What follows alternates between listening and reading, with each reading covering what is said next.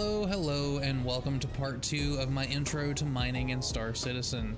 Today we're going to be playing with this little bad boy behind me. This is called the Grey Cat Rock, and if you're looking to have a very small investment and a very high profit margin for 175k for this thing here, you can't go wrong because in one trip with it, you can make what you spent on it and then some averaging out to, oh, I don't know, about 230k a run if you get lucky and fill it completely with Hadanite. I usually manage to get mining anything and everything I see about 100k an hour with this. So if you're looking for a quick money thing, this is definitely your ticket. So, with a risk of sounding cheesy and putting my amazing reputation on the line, let's rock.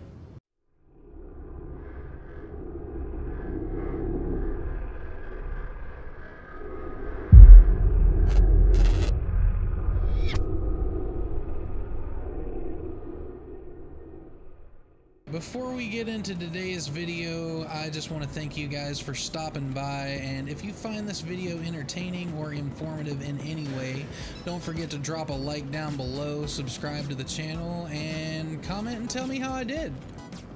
Alright, all that being said, let's get into what we really came here for. The best damn burrito in all of Hurston space. Love this place. They've got the best food. Oh. Oh. Oh, yeah.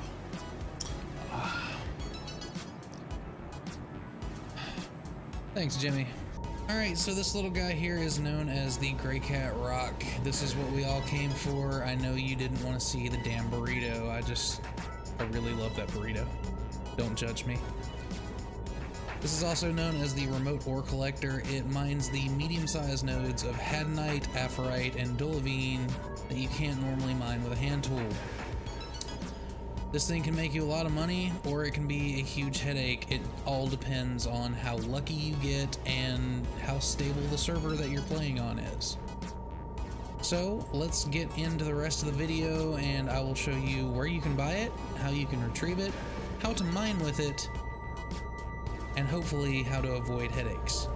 So you're gonna come here to the New Deal shipyard and you see that prospector behind me? There's a panel right in front of that that you're gonna buy the rock at. Let's walk over there and see exactly how much it is. Alright, so there's the prospector, which I will cover in a future video. I just don't own one right now. But this is the panel I was talking about. So you just walk up to this, use your inner thought to use it, and then you're gonna go all the way down here to Grey Cat Industrial and you'll see the Grey Cat Rock. Now in the beginning of this video I said it was around 175,000 because I wasn't sure of the exact price since I bought mine, but it's 172,000 and it is well worth it when you consider how much money you can actually make with this thing. Alright, so now that I've showed you where you can buy this at, why don't we head on over to Arial and I will show you exactly where you can pick it up. You are clear to launch.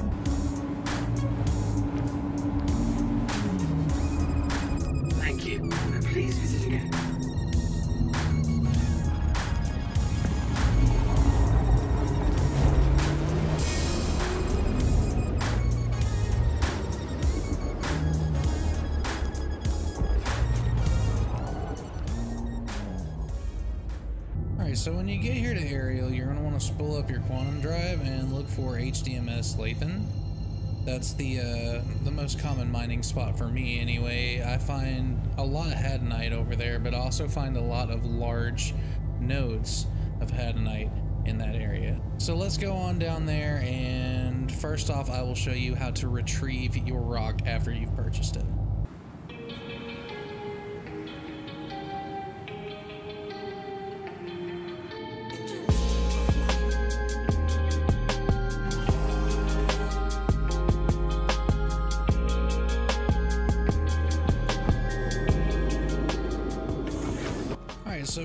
So when you touch down and you've got your ship landed perfectly on the pad, you're going to want to look for this little blue building over here. There's going to be a console inside there, just like the ship retrieval console, and it's going to let you get your Grey Cat Rock.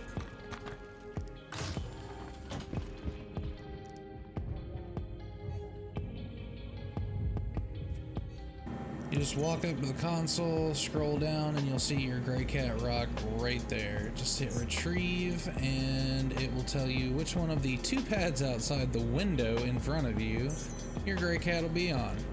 As if I can't see it sitting right there. Now something to note when you call out your Grey Cat, make sure it's stable, because if it's not, and you hop in it, you just might be taken for the ride of your life. I found that out the hard way the other day. Unfortunately, I did not catch it on video. All right, so to get into this little bad boy, you're just gonna walk up to it, hit open door, and then hit enter driver seat. If you do it the other way, you'll phase through the door and sometimes the door gets broken. Hit R just like you would on any other ship to start your engines and fire it up. And keep in mind that there is a bug with this thing that sometimes the mining arm will pop straight up in the air. So just hit M to turn it on and M again to turn it back off. Alright, let's go load this up in the back of the cuddy and I'll show you how to find some minables.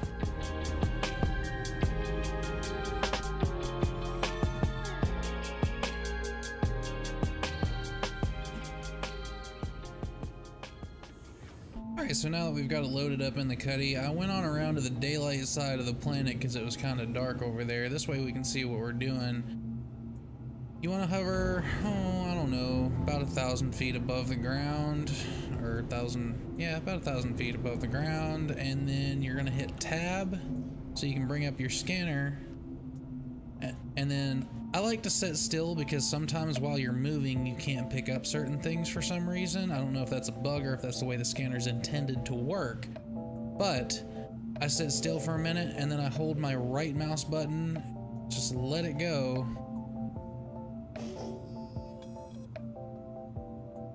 And it'll send out a pulse. It doesn't look like I found anything in this spot, so let me move on somewhere else and I'll see if I can show you guys what to look for.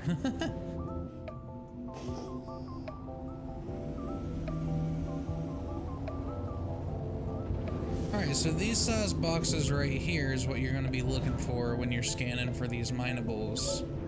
I don't know what's in this box, but we're going to go down here and find out.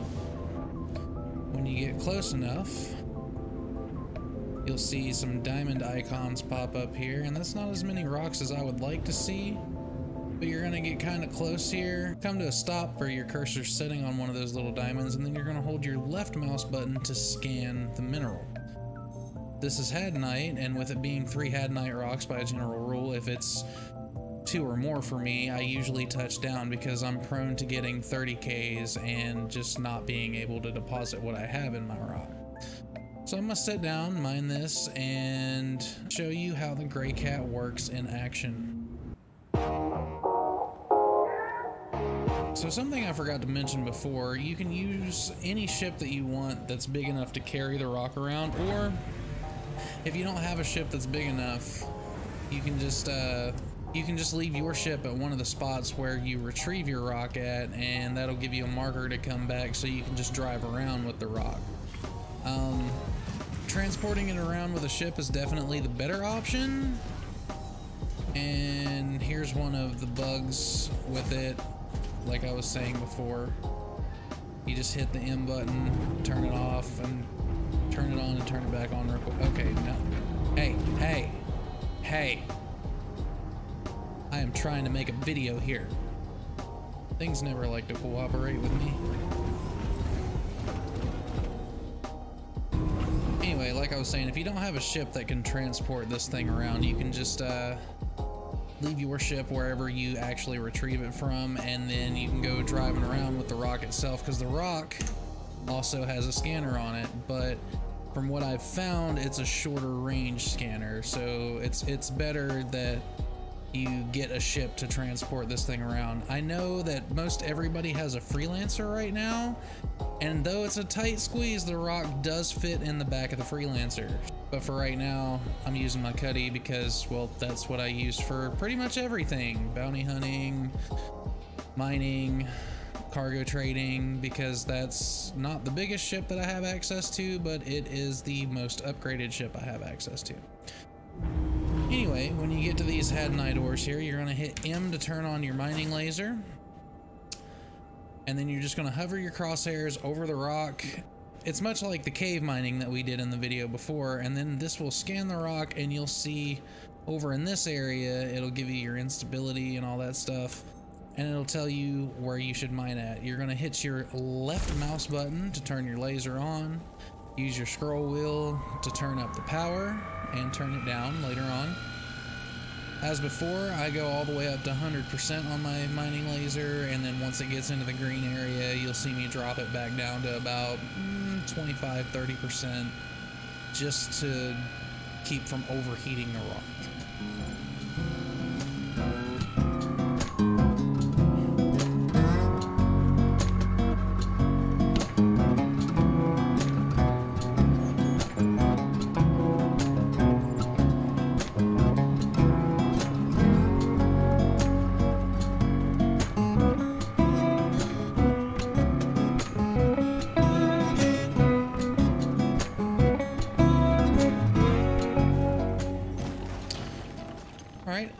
The multi-tool, let me turn my engines off so I, that's uh that's something else you should know. If if you're mining with the rock, always go over here and turn your engines off so that you don't go sliding across the ground.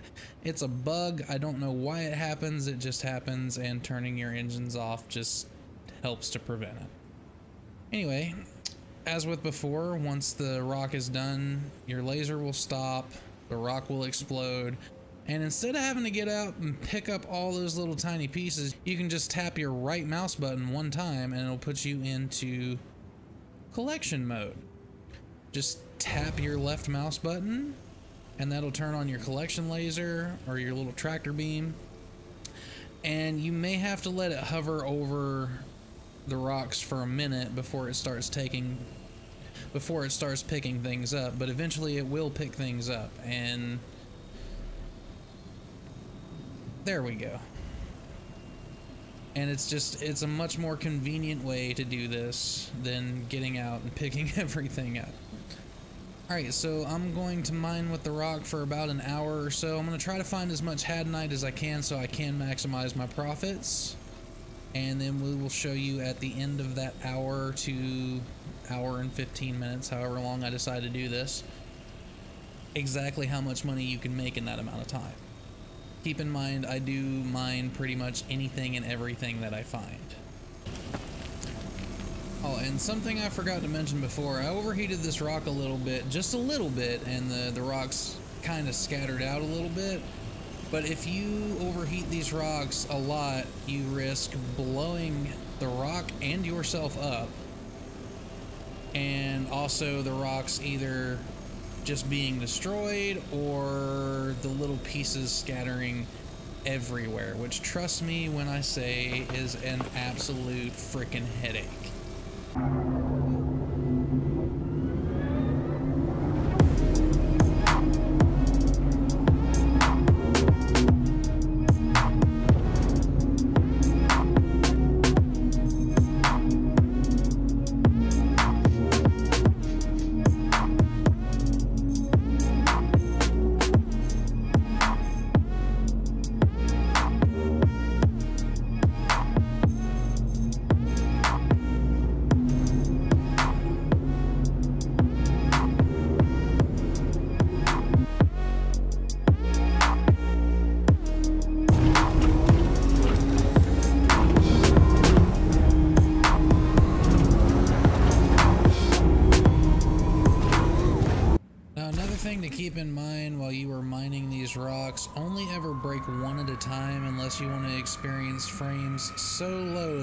Like you're moving backwards in time.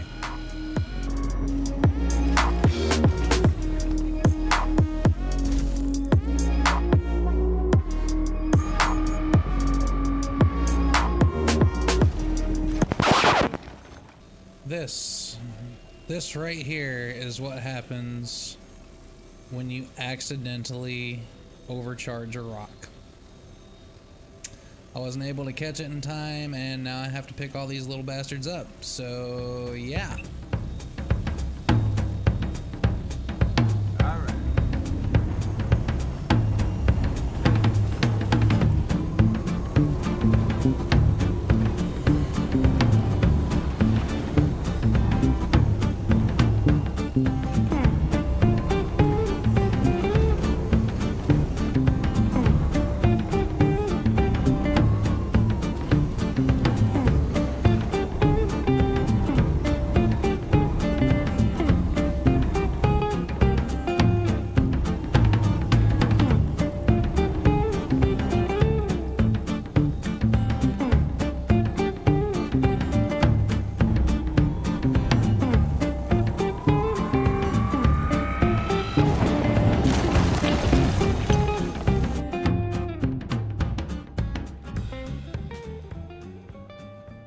Site's all mined out. Let's move on to the next one.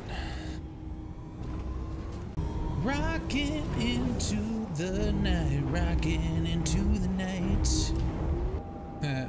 nice. After breaking that last rock, I'm at 69% cargo capacity. Alright, since I have managed to find a big cluster of them here, when you're mining with the rock, you want to ignore this icon here. Um, I'll cover those in a future video when I have my prospector, but that's what you use for these here. It's just giant boulders that the rock could not mine at all. Alright, this little two rock patch of Hadanite here should pretty much fill up my rock, so after I break these and get my rock loaded back up into my cuddy, I'm going to go back and sell and we'll see just how much you can make with a pure Hadanite run because I've gotten really lucky and found a lot, and I mean a lot of Hadanite this run. So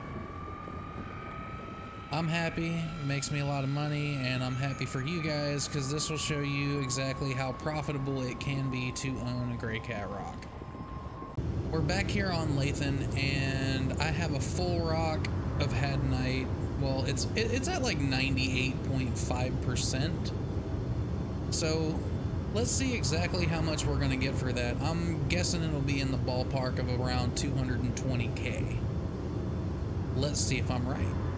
Alright, so when you land at one of these outposts and you're looking for where you need to sell your rocks at, just look for the building with the orange thing on the top of it. That's going to be your trading terminal. Let's get inside and see how much we got. Alright, we get in here, hit sell, select location. As you can see, my Grey Cat Rock is almost completely full, and it's all Hadanite. So, now when I hit this button, there we go, 218,000 UEC from that one run. That is one nearly full Grey Cat Rock. So, the money that you spent on this, you just made that back and then some. Boom, 218 grand just like that. It is a beautiful thing. Oh, and by the way, I'm finally a millionaire. Thanks to the little thing that I've been using in today's video. Alright, so just as a bit of good practice, something I absolutely recommend doing is whenever you're done with your rock, instead of putting it back on one of those pads and then going in here and storing it, I would recommend you just offload it from whatever ship you're carrying it in or just leave it sitting somewhere around the outpost and just go inside this little building here and claim because uh, the two or three times that I've actually tried to store my rock it's gotten bugged out and I've had to do a character reset on it. So if my face looks a little different in this video that's why. So I'm just gonna claim this. And it doesn't take very long for the claim to go through but just to make sure it's ready for the next time I go in I, I just pay the very very insignificant fee but I always recommend claiming before you log off because if you wait to do it uh, some wonkiness can happen like I logged off in my ship with my rock still in the back once and when I logged back in I was just in a free fall all the way down to the ground here on Arial, and uh, when I died, I wasn't able to respawn anywhere, so I had to log out and log back in again. Anyway, you'll see my gray cat still over there on the pad. I've already offloaded it from my cutlass, and ooh, it's sunrise. Maybe we can watch the sunrise together. Yep, Yep, that's what we can do. We can watch the sunrise together to, to see you guys on out. Alright, I hope you guys have found this video useful. And if you did, don't forget to drop a like down below. Throw me a comment to tell me how I'm doing. And subscribe to the channel for more content. In the next video, I'll be going over trading. And at some point, I will release a part 3 to this mining guide. I just have to buy a prospector first because I am not renting one. It's a waste of money. Don't do it. Anyway, Let's watch the sunrise together.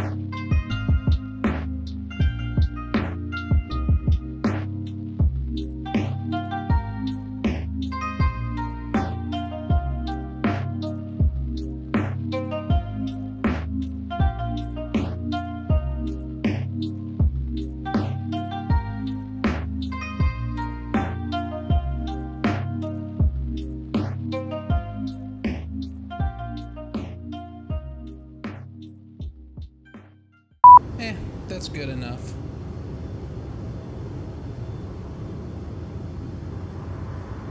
What is up with my eye?